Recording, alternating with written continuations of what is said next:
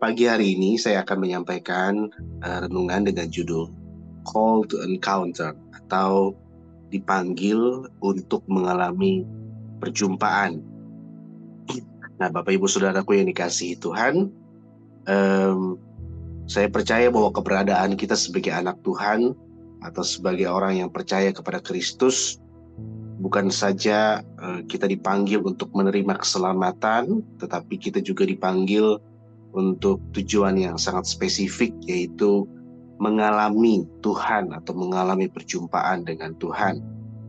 Yang yang mana memang dalam setiap pribadi, setiap orang memiliki pengalaman yang berbeda dengan cara yang unik. Nah, kalimat panggilan atau dipanggil itu sendiri adalah kalimat yang lumrah gitu ya Bapak Ibu di dalam dunia kekristenan. Karena gereja itu sendiri diambil dari kata eklesia, artinya dipanggil keluar. Nah, eh, apa yang membedakan kekristenan dengan agama-agama yang lain, Bapak Ibu? Apa yang membuat kekristenan menjadi sebuah keyakinan yang uh, unik atau berbeda dari keyakinan-keyakinan yang lain, saya rasa dari cara kita mengenal Tuhan yang disembah. Kalau agama-agama lain mungkin punya konsep Tuhan yang disembah itu adalah Tuhan yang besar, Tuhan yang megah, Tuhan yang jauh, atau Tuhan yang sulit untuk ditemukan, sulit untuk digapai, gitu. Nah, kekristenan memiliki konsep yang berbeda dengan agama-agama yang lain, Bapak Ibu. Kekristenan menekankan bukan hanya Tuhan yang disembah adalah Tuhan yang besar, Tuhan yang megah, Tuhan yang maha kuasa, tetapi kekristenan juga memiliki konsep Tuhan yang disembah adalah Tuhan yang dekat. Tuhan yang menunjukkan dirinya, Tuhan yang memberikan kesempatan kepada orang yang menyembah Dia gitu ya kepada makhluk yang menyembah dia untuk berjumpa untuk mengenal dia secara pribadi. Nah, itulah yang menjadi privilege atau hak istimewa kita sebagai orang yang percaya kepada Tuhan, percaya kepada Kristus. Kita diberikan hak istimewa untuk mengalami perjumpaan dengan Tuhan. Yang mana memang caranya tiap-tiap orang mungkin berbeda. Nah, di dalam Alkitab Bapak Ibu ada satu kisah atau ada satu tokoh yang pengalaman perjumpaannya eh, sangat mengubah dia yang tadinya orang yang nggak percaya sama Tuhan, bahkan orang yang justru menganiaya eh, kekristenan, tiba-tiba karena dia mengalami perjumpaan, dia eh, mengenal Tuhan, dia berubah secara radikal dari orang yang menganiaya jemaat menjadi orang yang e, menanam begitu banyak gereja.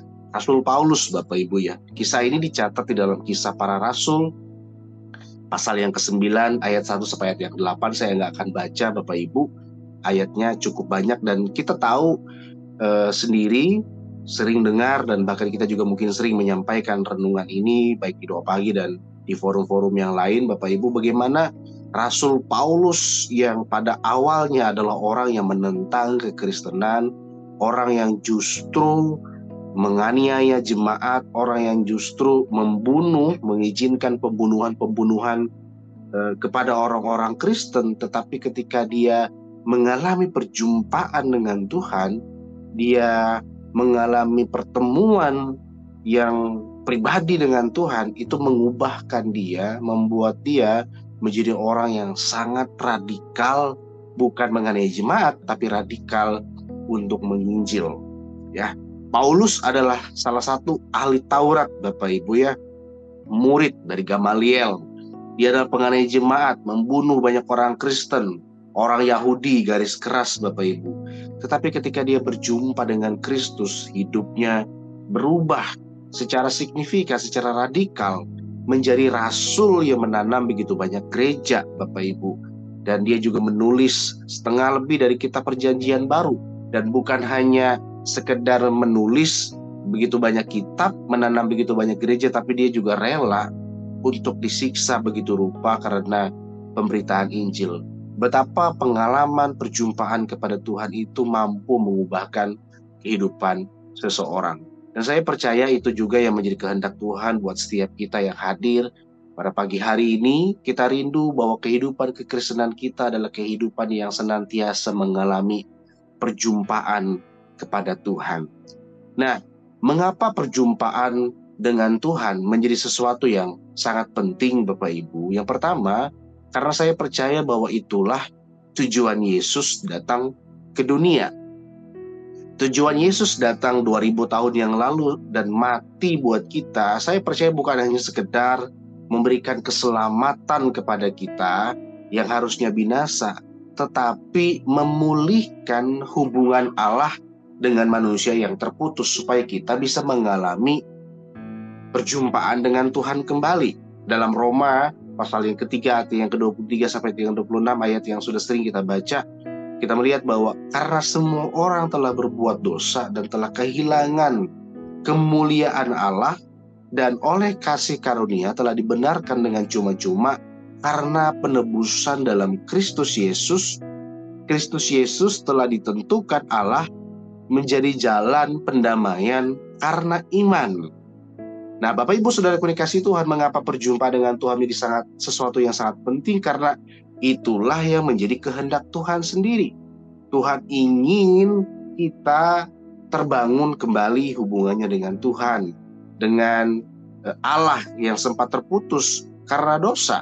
Dan untuk itulah Yesus datang menebus kita, menyelamatkan kita supaya kita yang tadinya kehilangan kemuliaan Allah bisa layak, dilayakkan Bapak Ibu untuk apa? Untuk mengalami perjumpaan dengan Tuhan.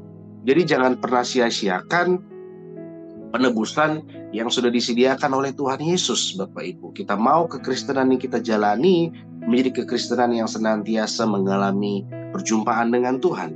Lalu yang kedua, mengapa perjumpaan dengan Tuhan itu penting? Karena bukan saja itu kehendak Tuhan sendiri, melainkan perjumpaan dengan Tuhan menjadi sesuatu yang sangat penting supaya kita manusia yang menyembah dia mengenal siapa yang kita sembah Bapak Ibu. Dalam Hosea pasal yang keempat ayat yang keenam firman Tuhan berkata, umatku binasa karena tidak mengenal Allah. Karena engkaulah yang menolak pengenalan itu. Maka aku menolak engkau menjadi imamku dan karena engkau melupakan pengajaran Allahmu, maka aku juga akan melupakan anak-anakmu perjumpaan dengan Tuhan menjadi sesuatu yang penting supaya kita yang menyembah Tuhan bisa mengenal siapa yang kita sembah. Kalau konsep agama-agama di dunia ini memiliki konsep bahwa Tuhan yang mereka sembah adalah Tuhan yang tidak mereka kenal, kekristenan justru menawarkan konsep yang berbeda. Kita diberikan kesempatan untuk mengenal pribadi yang kita sembah melalui apa? Melalui Kristus Yesus. Saya tidak bisa membayangkan Bapak Ibu kalau Tuhan Yesus tidak pernah turun ke dunia menebus dosa manusia, kita jadi tidak bisa mengenal siapa pribadi yang kita sembah. Apa bedanya kekristenan dengan keyakinan-keyakinan yang ada di dunia ini? Kita seperti menyembah sesuatu yang hampa, kita seperti menyembah sesuatu yang kosong. Beruntunglah kita, Yesus sudah menunjukkan pribadinya kepada kita menggenapi apa yang menjadi nubuatan-nubuatan para nabi supaya kita tidak asal menyembah tidak asal mengenal Bapak Ibu. Ya saya tidak bisa membayangkan eh, ada orang yang eh, banyak anak-anak muda ya Bapak Ibu ya. Eh, saya mengenal beberapa teman gitu ya yang eh, pacaran itu lewat media sosial mungkin karena susah nyari pacar gitu ya Bapak Ibu ya. Jadi nyari jodoh itu lewat media sosial. Biasanya lewat Facebook atau lewat eh, platform-platform media sosial yang lain gitu. Nah, kadang-kadang dapat pacarnya itu bisa ada di luar negeri gitu ya. Atau kadang-kadang ada yang di uh, luar pulau dan lain sebagainya. Nah, mereka bangun hubungan pacaran lewat sosial media, lewat WhatsApp, telepon-teleponan tapi nggak pernah ketemu Bapak Ibu. Ya pernah punya pengalaman atau menjumpai seseorang yang seperti itu ya. Saya saya kenal beberapa teman saya ya pacaran tapi nggak pernah ketemu. Tapi teleponan gitu ya, bisa WA dan lain sebagainya. Saya nggak bisa membayangkan bagaimana membangun hubungan seperti itu.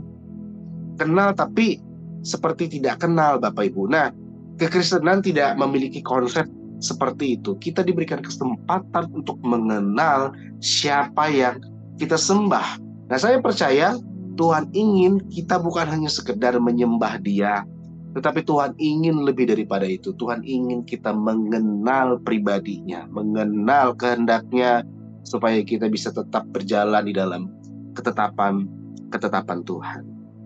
Nah, lalu yang menjadi pertanyaannya buat kita pada pagi hari ini, kita bisa mengalami Tuhan melalui momen apa saja, melalui eh, apa ya, waktu apa saja gitu ya Bapak Ibu ya. Nah, saya mencatat di sini kita bisa mengalami Tuhan yang pertama di dalam masa pencarian kita. Tuhan akan berkenan ditemui ketika kita mencari Dia. Amin, Bapak Ibu Saudara. Nah, perjumpaan dengan Tuhan bisa kita alami saat kita berusaha mencari, saat kita berupaya menemukan Dia, dan Tuhan dengan kedaulatannya bisa saja menunjukkan dirinya, menunjukkan pribadinya kepada orang-orang yang mencarinya dengan kesungguhan, Bapak Ibu. Nah, pencarian kita, proses pencarian kita kepada Tuhan itu bisa dilalui atau bisa lewat berbagai cara. Ya mungkin bisa lewat perbuatan-perbuatan Tuhan dalam hidup saudara, saat saudara sembuh dari penyakit, saat saudara sedang dipulihkan dari ekonomi yang kurang baik, saat saudara mungkin dipulihkan hubungannya ketika hubungan keluarga sedang tidak baik-baik saja atau melalui banyak hal Bapak Ibu. Nah, kita juga bisa menemukan Tuhan atau mengalami perjumpaan dengan Tuhan saat kita mencari Dia melalui apa? Melalui ketekunan kita membaca Alkitab dan berdoa, Bapak Ibu. Contohnya yang kita lakukan setiap pagi saat kita berdoa, mengikuti online Zoom seperti ini, saat kita membaca Alkitab di rumah itu adalah upaya kita atau effort kita untuk mencari atau menemukan Tuhan yang kita sembah, Tuhan yang kita puji. Supaya apa? Supaya pencarian kita itu membuahkan pengenalan kita akan Tuhan, Bapak Ibu. Makanya jangan pernah kita meremehkan masa-masa kita mencari Tuhan. Jangan pernah menyepelekan masa-masa kita membaca Alkitab di dalam kamar kita, di rumah kita. Jangan pernah meremehkan masa-masa di mana kita berdoa, di dalam rumah kita bersama dengan keluarga kita ataupun dengan platform-platform seperti ini karena saya percaya ini adalah salah satu upaya kita untuk mencari atau menemukan dan membangun pengenalan kita akan Tuhan dan ketika Tuhan melihat orang-orang yang sungguh-sungguh mencari dia percayalah Bapak Ibu Tuhan akan berkenan untuk ditemui dan menyatakan dirinya dalam kehidupan kita pribadi lepas pribadi. Itu yang pertama. Nah, lalu yang kedua, kita bisa menemukan Tuhan atau mengalami perjumpaan ketika kita di dalam masa kegagalan. Yang pertama tadi dalam masa pencarian, lalu yang kedua adalah dalam masa kegagalan. Nah, terkadang kita bisa mengalami Tuhan atau menemukan Tuhan lewat kegagalan yang kita alami saya mendengar begitu banyak sekali kesaksian orang yang dipulihkan Tuhan, bertobat, ngalamin Tuhan justru pada saat dia di titik-titik yang paling rendah. Jarang sekali saya tuh dengar kesaksian orang yang mungkin ada Bapak Ibu ya saya jarang tapi saya jarang sekali dengar kesaksian orang yang ngalamin perjumpaan itu ketika mereka lagi banyak duit misalnya atau mereka lagi eh, dapat hoki ya dalam tanda petik gitu ya Bapak Ibu. Tapi kebanyakan orang itu mengalami perjumpaan justru ketika dia di dalam titik yang paling rendah. Ketika dia gagal, ketika dia terpuruk, ketika dia ngalamin semua yang dia upayakan, semua yang dia usahakan itu tidak membuahkan hasil Bapak Ibu. Maka kita tidak boleh meremehkan kegagalan yang kita alami. Ini bukan karena Tuhan jahat, bukan karena Tuhan tidak peduli, melainkan mungkin karena kasih Tuhan yang begitu besar kepada kita makanya dia izinkan supaya kita sadar dan tahu bahwa Tuhanlah satu-satunya yang harus menjadi sandaran kita. Sama seperti Rasul Paulus Bapak Ibu. Dia dengan yakin, dia dengan confidence, misinya untuk membinasakan orang Kristen ketika dia dalam perjalanan ke Damsyik itu akan berhasil. Dia begitu percaya diri bahwa apa yang dia lakukan ini adalah eh, apa namanya sebuah pengorbanan untuk agama, gitu ya Bapak Ibu. Tapi justru dia gagal. Tetapi kegagalan inilah yang mengubahkan dia sehingga menjadi seorang rasul yang sangat luar biasa Bapak Ibu. Dan ini tertuang di dalam salah satu catatan Paulus di Filipi pasal yang ketiga ayat yang ketujuh sampai ayat yang kesembilan. Saya bacakan buat kita sebagai ayat penutup. Ini adalah catatan Paulus bagaimana dia memandang keberhasilannya di mata dunia adalah sebuah kegagalan di mata Allah dan itulah yang mengubahkan dia. Tetapi apa yang dahulu merupakan keuntungan bagiku, sekarang kuanggap rugi karena Kristus. Malahan segala sesuatu yang kuanggap rugi karena pengenalan akan Kristus Yesus Tuhanku lebih mulia daripada semuanya. Oleh karena dialah aku telah melepaskan semuanya itu dan menganggapnya sampah supaya aku memperoleh Kristus dan berada dalam dia bukan dengan kebenaranku sendiri karena mentaati hukum Taurat, melainkan dengan kebenaran karena kepercayaan kepada Kristus, yaitu kebenaran yang Allah anugerahkan berdasarkan kepercayaan. Jadi Bapak Ibu Saudara dikasih Tuhan bagi kita semua yang mungkin hari-hari ini merasa bahwa hidup kita eh, terpuruk, hidup kita gagal dan sebagainya. Mari kita berdoa supaya di dalam kegagalan ini kita menemukan pribadi Tuhan yang memulihkan keadaan kita. Saya berdoa Bapak Ibu Saudara setiap kita yang hadir pada doa pagi hari ini adalah orang-orang yang senantiasa tekun, rindu untuk mencari wajah Tuhan dan mengalami perjumpaan dengan Dia. Mengenal Tuhan yang kita sembah itu adalah kerinduan daripada Tuhan sendiri. Amin. Buat sharing firman Tuhan pada pagi hari ini, terima kasih Om David buat kesempatannya. Tuhan memberkati kita semua.